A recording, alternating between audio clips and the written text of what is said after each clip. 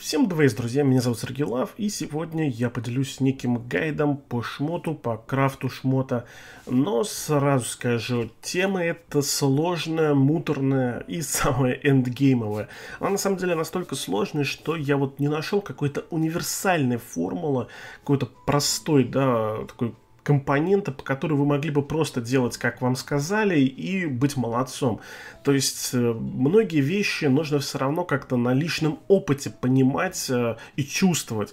Тем не менее, я опишу вам базис, который задаст вам нужный вектор э, в развитии в данном направлении, и уже вы на его основе сможете как раз-таки свой личный опыт нарабатывать, и дальше придете к какому-то пониманию, что, где, как именно вы хотите делать. Вот. Также скажу, что в следующем месяце уже выйдет какое-то обновление, которое добавит новую функцию по крафту. Но опять же, я не думаю, что поменяется как-то сама мета крафта, шмота и принцип его формирования. Просто это будет дополнительное облегчение. Ну и и там уже поговорим по существу, что будет. Э, и если будут какие-то дополнения у меня лично, или, может быть, в комментариях кто-то поделится каким-то личным опытом и меткими уточнениями, я там это тоже озвучу. Э, так вот, давайте начнем с самого простого. Это с сета. Ну, просто чтобы люди, которые вообще вот только-только начинают, не потерялись, да, потому что ну, начинать с середины не очень приятно. Сетов много разных, и в них тоже как раз-таки легко потеряться. Но самый нужный крафт это крафт Виверна, именно поэтому везде, где вы видите какие-то там э, гайды, советы, фарм, боссы и так далее, везде мелькает именно Виверна в первую очередь, все остальные боссы практически не упоминаются. По одной простой причине, все три сета, которые здесь крафтятся, они все нужны. Э, сет с скорости самый ходовой, он самый ходовой в PvP и в PvE он, в принципе, также отлично работает. То есть э, именно поэтому все крафтят именно шмот Виверна, потому что PvP, оно здесь более эндгеймовое, чем PvE. PvE легче закрывать. Я, допустим, прошел Виверну спустя 33 дня всего. 11 Виверн это самый эндгеймовый endgame. Ну, не считая Абиса, конечно. Тем не менее, дальше ее просто фармить до столько времени, сколько я буду играть в эту игру. Да, а вот PvP там еще расти и расти, поэтому сет, э, скорость это приоритетный сет вообще всегда. Дальше, Critical Set это основной дополнительный сет для дамагеров, потому что какой бы другой вы сет не одели на них, там атака, какой-нибудь лайфстил, практически ничего дамагерам не одеть, кроме Critical Set, ну там иммун еще какой-нибудь. Но тем не менее это тоже крайне рабочий, крайне спросовый комплект. Ну хитсет он чуть менее актуальный, тем не менее он тоже работает. И он тоже нужен, возможно, для прям совсем зеленого новичка, который играет там неделю-две, этот сет не востребован, но тем не менее быстро можно понять, что он пригодится. По крайней мере, два из трех здесь must have. Големчик. Големчик э, хороший босс, его также будете фармить, скорее всего. Здесь все три сета рабочие. Атак сет на дамагеров, понятное дело, health сет на и defense сет. Они идут на танков. При этом, допустим, тот же Кен использует health сеты, потому что у него атаки скалируются от количества здоровья. То есть вы можете его вообще одеть в три сета здоровья и и он будет норм. Да, поэтому големчиковские сеты также все играют, все очень спросовые, все с ними нормально. Дальше банши. Вот с банши уже немножко не все так э, просто, потому что здесь крафтится 4 сета. То есть имейте в виду, что если вам нужен только один сет из этих четверых, то здесь будет лишь четверть предметов крафтиться в данный сет. Ну, то есть, а здесь треть, да. То есть вероятность получить нужную шмотку здесь гораздо меньше, поэтому это вообще одищ на самом деле. Но, тем не менее, здесь есть полезные сеты. Resistance сет, наверное, наименее полезный из всех этих, потому что, э, ну, не так много персонажей используют резист, ну, например, какая-нибудь Монтморанси. Но при этом, на самом деле, resistance можно собрать и статами, то есть это не то, что прям хочется в виде сета иметь. Destruction сет э, хороший, Опять же, он работает в PvE, преимущественно в PvE, но также и в PvP так. Он заходит, но опять же, в PvP когда вам нужен дамаг, вы одеваете скорость, поэтому в PvP он не настолько популярен. А вот в PvE он может э, позволить выбивать большие цифры, э, убивать боссов быстрее, поэтому он работает. Lifesteal сет. Опять же, данный сет э, не такой популярный, как какой-нибудь сет атаки или уж тем более скорости, но этот сет работает на определенных персонажей, в определенных ситуациях, и в принципе он PvP также может работать, но опять же на определенных персонажах, на определенных ситуациях. Он, в общем-то, имеет смысл. Контур-сет, э, я бы сказал, наверное, из всех этих четверых самый спросовый, потому что контра, опять же, в PvP ну, это, скорее всего, исключительно под PvP. В PvE это, ну, очень мало применимо. То есть применимо, но зачем, если есть там сет атаки или тот же он distraction set. Тем не менее, в PvE также его можно взять, но его собирают именно под PvP. Как я уже сказал, PvP это больше эндгейм, чем PvE. Но тем не менее, из-за того, что здесь 4 сета, с баншей геморрой гораздо больше. И когда есть возможность одеть что-нибудь другое, например, с голема или с виверны, то это будет сделать гораздо проще. А Зимонак э, самый неспросовый босс с самыми неспросовыми сетами. Ну, точнее, с двумя из трех. Дело в том, что ни Unity сет, ни Rage сет толком вообще не пользуются популярностью. Опять же, это не значит, что их нельзя использовать. Можно придумать ситуации, где они зайдут. Особенно если у вас там крутейшая шмотка выпала, да, и вы собрали крутейший комплект овер заточенный. Но, тем не менее, Азимонака фармят меньше всего, ну, именно из-за того, что два сета из трех здесь падают такое себе совсем. Но иммунити сет очень спросовый. В PvP какой-то момент это, наверное, чуть ли не самый спросовый наравне со сетом скорости комплект, потому что когда в вас залетают прям первыми же скиллами сплошные дебафы, когда там Дизи, еще что-нибудь, какой-нибудь Тайвин, миллион персонажей, которые просто вас э, э, раскурочивают дебафами, вы, конечно же, хотите одеть всем персонажам дополнительный иммун-сет к э, сету скорости, да, и у вас такой стандартный комплект, это сет скорости плюс сет иммунити. Тем не менее, в PvE он, в принципе, применим, да, потому что, опять же, есть места, где вас жутко дебафуют, и неплохо бы иметь иммунку, но там можно обойтись без этого. И, как я уже сказал, Азиманак хоть и спросовый, и нужный тоже, э, как правило, он выпадает вот из этой четверки, именно из-за того, что остальные два сета в нем такой себе. И сет хоть и нужный, но, сами понимаете, не для новичка, поэтому ориентир по крафту это сет скорости, ну, сет хп брони, опять же, вам наверняка нужны какие-то танки на каких-то боссов, Банши с этим уже похуже из-за того, что здесь 4 сета, да, и вы должны потратить гораздо больше ресурсов, чтобы получить нужное. Ну, Азимонак, Азимонак, я бы сказал, такой endgame, знаете, когда у вас уже много чего есть, вот вам нужен, вот у вас много чего есть, а вот immunity комплектов нету. И вот вы уже прямо вот занимаетесь дрочем Азимонака, просто потому что другого ничего не остается. Это что касается сетов. Теперь, что касается непосредственно самого крафта, а непосредственно... Ну, понятное дело, что крафтим только 85-й шмот, ничего другого крафтить нет смысла. Но, опять же, в первые дни можете что-нибудь покрафтить, э, в первые там неделю, да, ну, хоть чтобы что-то одеть, но сильно участвовать не стоит, там по сюжетке что-то дают, да и несложно. Вроде как пройти всю сюжетку и пройти, да, вот, чтобы крафтить 85-й шмот. Дальше. Э, есть еще один такой момент, но он касается, наверное, самых новичковых новичков, э, непосредственно с синим шмотом. Стоит ли этим заморачиваться или не стоит? Смотрите, опытные игроки все говорят, что ниже фиолетового шмот улучшать не, не имеет смысла. И действительно так. То есть э, уже, допустим, спустя месяц я, ну, с просто мизерной вероятностью возьму какую-то синюю шмотку, которую я буду улучшать. Но это все равно не исключено, потому что Смотрите, в чем дело. Э, шмотки я, так, знаете, условно разделю на левые и правые, потому что, ну, сами понимаете, в чем их разница. На самом деле не только их э, расположение отличается, отличается то, что мейнстат у левых шмоток, он фиксирован. То есть у меча всегда атака, да, у шапки всегда хп и у тела всегда броня. Что это означает? Это означает, что вам нужно лишь скрафтить шмотку с нужными правильными сабстатами. Ну, флат статы, то есть это беспроцентные статы, это полная шляпа. Все шляпа, кроме флат скорости. Есть какие-нибудь флат скорость? Да, вот спид Спид это тоже мастеф, но вы уже поняли, да, то есть э, видеть скорость это просто бомбезно на шмотке. То есть шмотка, в принципе, относительно других статов может быть плохая, но в ней может быть скорость, и это может сделать эту шмотку гораздо ценнее, чем кажется. Потому что есть персонажи в PvP, которые, знаете, им ничего не надо. Им просто нужно сходить первыми.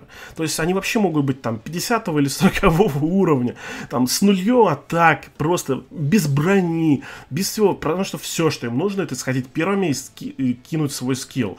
Поэтому шмот на скорость это то, что вам надо, да, это сет на скорость, э, основной стат на скорость, сабстат на скорость, э, там, devotion скилл на скорость, э, пробив на скорость, руны на скорость, короче, все, что можно на скорость, все на скорость.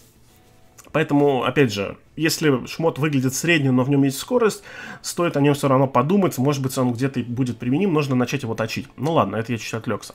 Да, что же по шмотам? То есть вам на левой части нужно наролить только сабстаты, соответственно, это сделать гораздо проще, чем наролить правый шмот.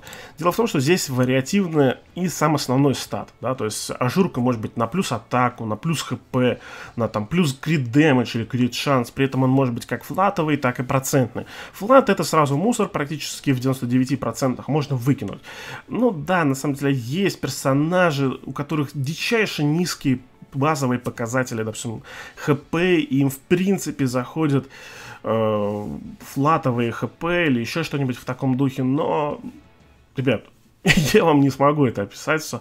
Это нужно смотреть индивидуально лучше. Да, по какому-то персонажу смотреть.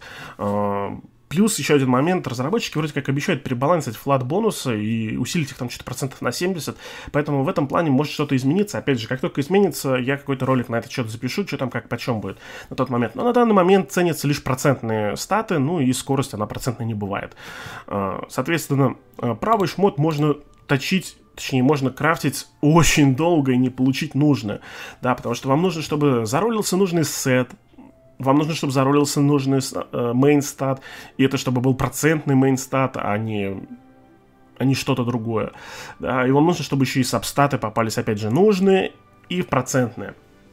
Короче, правый шмот, он очень дорогой для крафта именно с этой позиции. И здесь, как говорится, есть два стула. Первый стул. Э, вариант А. Если вам попадаются хорошие шмотки синие, все-таки их точить, потому что если у вас вообще нет одетых персонажей, лучше их одеть хоть чем-то, чтобы они начали работать, чем они просто валялись. Да, потому что как я уже сказал, и вы уже должны понимать, нарулить нужные соотношения невероятно сложно. Здесь, допустим, ну, полное говно. ну, это шмотка, которая не крафтил, по-моему, а может и крафтил, но это прям с самых первых недель она есть, и я просто не крафчу сейчас ничего, я коплю, есть причины. А, вот, поэтому, ну, вот я смотрю, есть скорость, а мне нужно, чтобы Фуриус сходил первый. Вот от Фуриуса мне ничего не надо, да, мне нужно все, все, что от него нужно, чтобы он на големе сходил раньше моего дамагера. Кинул баф и дебаф. Все. То есть он там ни дамагать не будет, ни критовать, ему ничего не надо. Ну и чтобы не сдох, конечно же. Но на, голе... на Виверне он там сдохнуть может только на первой пачке, но этого вроде не происходит уже. Потому что все-таки хил есть в команде. Да, поэтому все, что мне нужно, чтобы была скорость. Поэтому у него все шмотки имеют скорость. Да, то есть, опять же, ему не нужен нафиг. Ну ладно, эффективность чуть-чуть нужен. Но резист точно не нужен, но пойдет. Атака, на самом деле, ему тоже не особо нужна, но пойдет. Вот эти тап тапочки, это прям огонь. Это лучшая моя шмотка, которая сейчас есть. Мейнстат скорость. Кстати, да, насчет тапок. В тапках есть два ходовых э, бонуса. Это скорость и атака. Причем атака гораздо меньше спросовой, так это 7 к 3, я бы сказал, а то и 8 к 2 по спросовости. Почему? Потому что именно сапоги дают просто колоссальный, огромнейший бонус к скорости. 85-е сапоги, если не ошибаюсь, в конце будут давать э, то ли 35, то ли 40 скорости, или 88 дают 48. Короче, дохренище, да, то есть вот, вот собрать вот шмотками э, по, там, бонусы по 4, да, там, по 3 скорости, то есть э, фиг соберешь, это там даже 35 скорости, да, а здесь сразу вот тебе 30, да, недоточенная чутка. Э, поэтому Имейте в виду, допустим, в плане сапог, если им наролилась мейн скорость, но все остальное, ну, так себе, это все равно здорово, шикарно. Как я уже сказал, есть персонажи, которым нужна просто скорость. Поэтому сапоги с мейн скоростью стоит, опять же, оставлять, э, закрывая глаза на какие-то такие посредственные сабстаты. Так, о чем это я? Ага, про два стула. Так вот, синие шмотки, я считаю, все-таки новичок имеет право затачивать, но, наверное, не сильно выше, чем плюс 9. Дело в том, что заточка выше, чем плюс 9, становится намного дороже и, ресурс... и более ресурсоемкая. Поэтому Если вам, в принципе, надо просто чем-то одеться, да, там, проходить контент или еще что-то, в принципе, точите какой-то хороший, вот реально, вот, да, прям реально хороший синий шмот. В этом ничего зазорного я не вижу. Но в итоге, опять же, когда у вас уже, в принципе, будет там пару пачек одетых, более-менее, да, которыми вы закрываете контент, которые более-менее справляются уже со своими задачами, тогда уже синий шмот, наверное, и не имеет смысла точить, потому что вам нужен будет только фиолетовый, ну, а имеющийся синий вы будете просто так по неспадающей, как, да, знаете, в многодетной семье старшие братья отдают младшим. То есть вы скрафтите какую-то шмотку лучше, да, я вот я ему скрафчу, я это кольцо отдам какому-то другому персонажу, которому, опять же, нужна только там скорость и хп. И так оно будет по неспадающей идти. Но поначалу синий шмот точить имеет смысл. Далее, что крафтить, в принципе, да, левый шмот или правый? Как я уже сказал, правый, он более ресурсоемкий. И э, вот опять же, более такие алдовые игроки, они говорят, что надо крафтить именно правый шмот, именно из-за того, что его гораздо труднее получить с нужными статами. Но лично я считаю, опять же, как относительный новичок, имеет смысл все-таки сосредоточиться на крафте левых шмоток, потому что их скрафтить гораздо дешевле и проще. И поначалу у тебя тупо нет вообще никакого шмота, Поэтому э, сосредоточиться стоит именно на левых шмотках, их э, за меньшее количество денег э, и ресурсов вы сможете получить более стоящие, да, те, такие шмотки, которые будет не жалко проточить, потому что, опять же, количество заточек очень сильно ограничено, это требует бабла, и точить посредственный шмот э, не хочется, а одевать персонажа, допустим, в плюс 9, ходить просто пожизненно в плюс 9 и ждать месяц, когда тебе выпадет нужная ажурка с нужными статами, это бредово, да, потому что тебе нужно, чтобы он уже сейчас работал.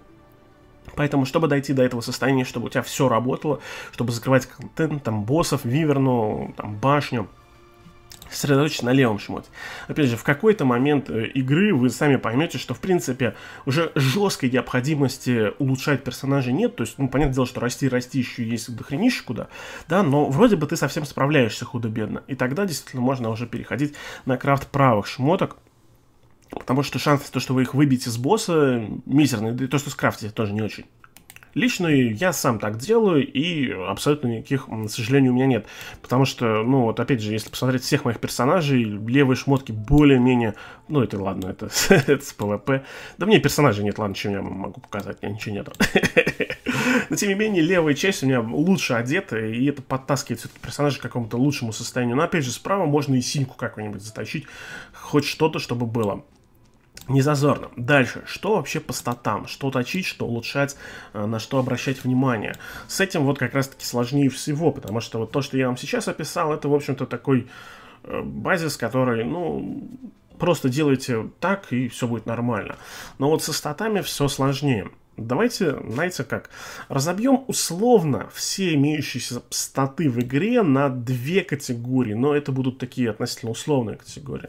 Атакующие и защитные. Атакующие это атака, крит шанс, крит дэмэдж. Это атакующие.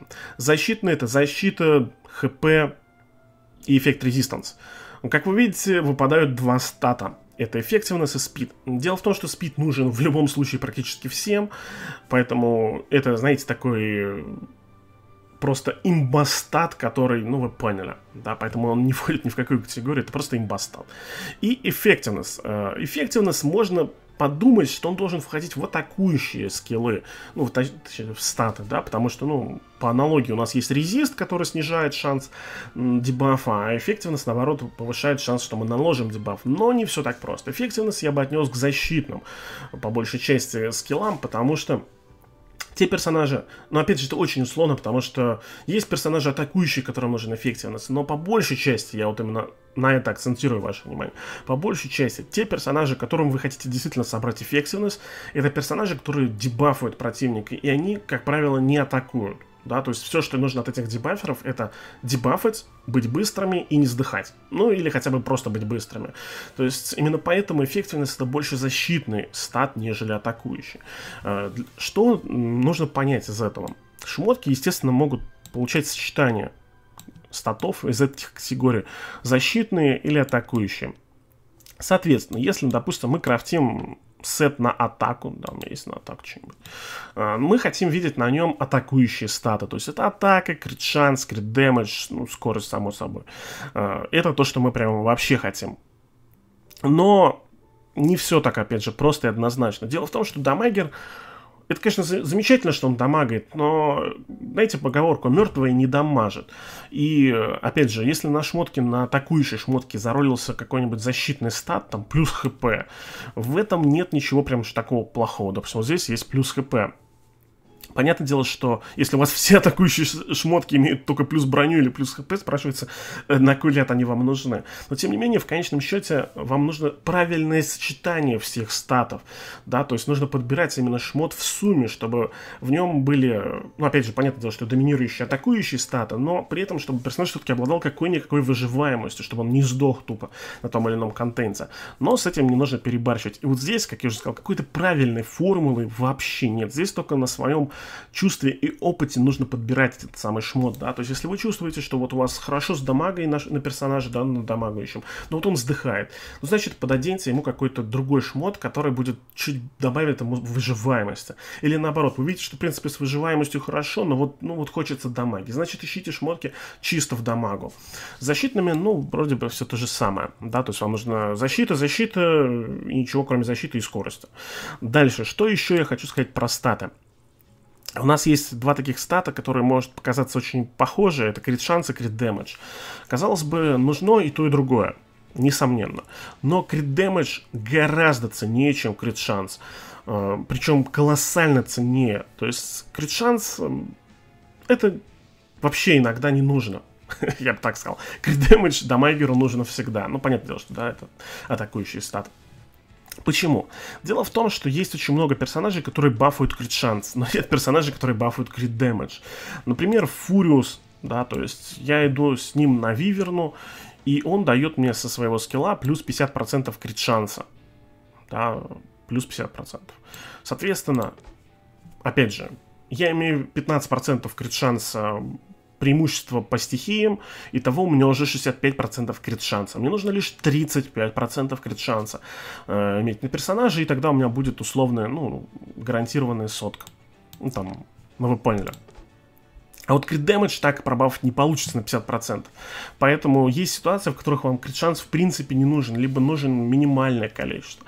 Также и в PvP есть, э, опять же, пачки, в которых вы опять же, клиф пачки, например, вы знаете, что вы дадите себе баф на атаку, на крит шанс первым ходом, да, и, соответственно, нам не нужно собирать стопроцентный крит шанс. А вот crit damage вам нужен всегда, потому что crit damage это фактически синоним просто damage а, потому что, опять же, у вас всегда будет сотка, ну, опять же, если у вас правильный сетапы, правильный подбор, да, то есть сотка crit шанса у вас наберется, ну, или очень близко к этому, поэтому damage это почти синоним атаки.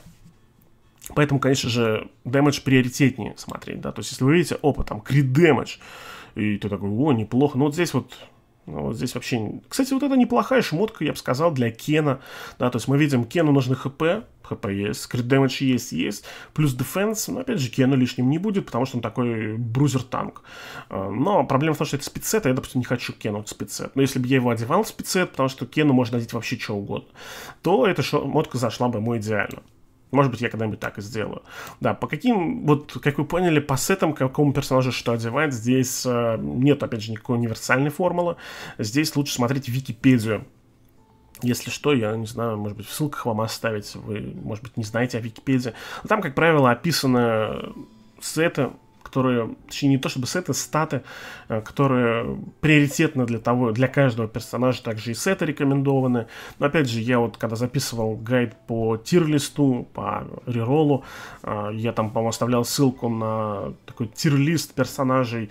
Э, мне он нравится гораздо больше, чем все остальное. И там также таблички есть, какие артефакты использовать персонажем и какие, опять же, статы сеты собирать это дает индивидуальное понимание по каждому персонажу. То есть универсальной формулы нет. Потому что, допустим, э, можно одеть э, шмот на эффект резистанс, потому что у него от этого там используется скилл э, прокает. Допустим, Ангелики это не особо надо, у нее никакого прока завязанного на резистансе нету, ей можно там чисто в хп собираться.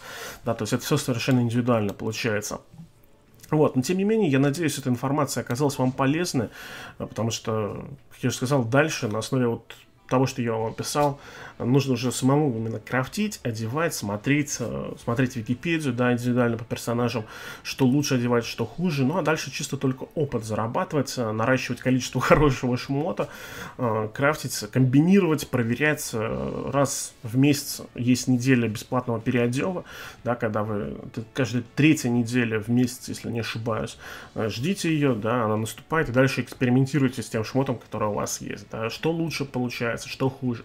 К слову, есть дэмэдж-калькулятор в игре, не в игре, а в комьюнити сайт есть с дэмэдж-калькулятором, где можно посчитать, что лучше там заходит. Ну, там не особо мне пока нужно, потому что, ну, понятное дело, чем больше дэмэджа, тем больше дэмэджа.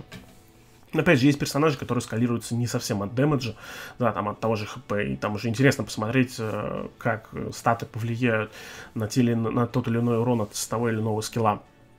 Так что этим тоже можно пользоваться, но это уже такая более э, такая продвинутая штука, которая имеет смысл подходить, когда ты уже вот, чуть-чуть понимаешь, что ты делаешь, зачем ты делаешь и что как это работает. Тем не менее, какой-то базис, я надеюсь, я вам задал. Если у кого-то есть что дополнить, пишите в комментариях. Если остались какие-то вопросы, также озвучивайте, наберется какой-то материал, запиши еще ролик. Ну, на этом у меня пока что все. Надеюсь, еще увидимся.